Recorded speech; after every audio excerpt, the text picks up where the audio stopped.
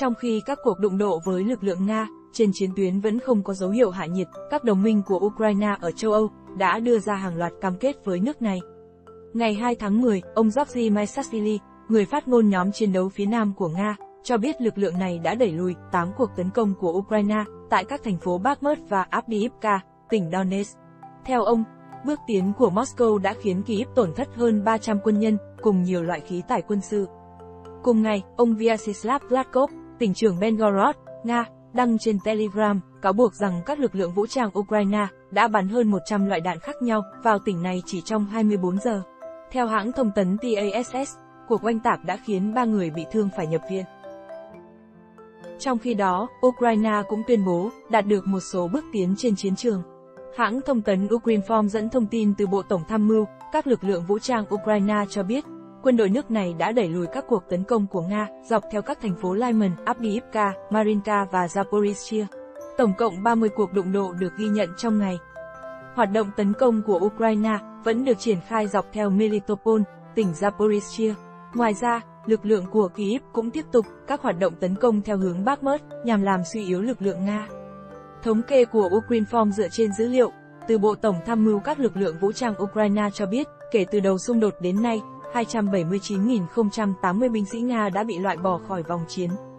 Cao ủy phụ trách chính sách đối ngoại và an ninh của Liên minh châu Âu, EU, Joseph Borrell ngày 1 tháng 10 khẳng định sự hỗ trợ của khối dành cho Ukraine là có cấu trúc và lâu dài. Theo ông, viện trợ cho Kyiv không phụ thuộc vào diễn biến chiến trường trong những ngày hoặc tuần tiếp theo, Ukrinform đưa tin. Ông Borrell kêu gọi các đối tác của Kyiv cung cấp vũ khí tốt hơn và với tốc độ nhanh hơn để đảm bảo chiến thắng của Ukraine trên chiến trường. Trong khi đó, tờ The Guardian dẫn lời Ngoại trưởng Ukraine, Dmytro Kuleba nói ông tự tin rằng sự ủng hộ của Washington dành cho Kyiv không hề suy yếu. Phát biểu được đưa ra trong bối cảnh Quốc hội Mỹ thông qua dự luật tạm thời nhằm gia hạn nguồn tài trợ cho chính phủ, trong đó không bao gồm khoản viện trợ cho Ukraine. Ông Kuleba nói Kyiv đang đàm phán với các đảng viên Cộng hòa và Dân chủ tại Quốc hội Mỹ. Bộ trưởng Quốc phòng Anh, Grant đã bác bỏ các báo cáo cho rằng, hải quân nước này có thể giúp bảo vệ các tàu thương mại, chở ngũ cốc và thực phẩm xuất khẩu khác của Ukraine ở Biển Đen, theo The Guardian. Phát biểu được đưa ra sau khi tờ Sunday Telegraph cuối tuần qua đăng tải bài phỏng vấn ông Sapp và đưa tin rằng Hải quân Hoàng gia Anh có thể đóng vai trò bảo vệ các tàu thương mại khỏi các cuộc tấn công của Nga ở Biển Đen.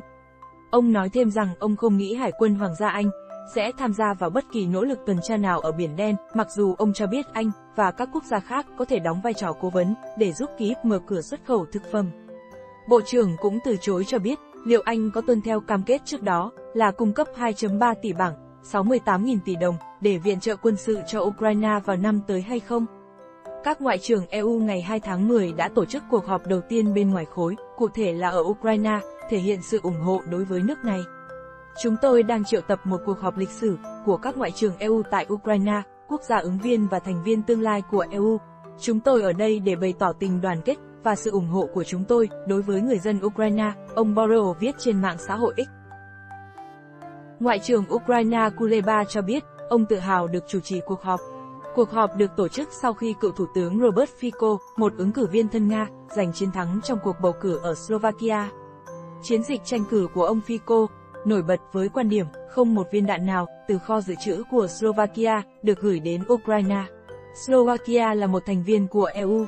Phát biểu sau khi giành chiến thắng vào cuối tuần qua, ông Fico nói ông sẵn sàng giúp đỡ Ukraine theo cách nhân đạo và nhằm mục đích tái thiết đất nước.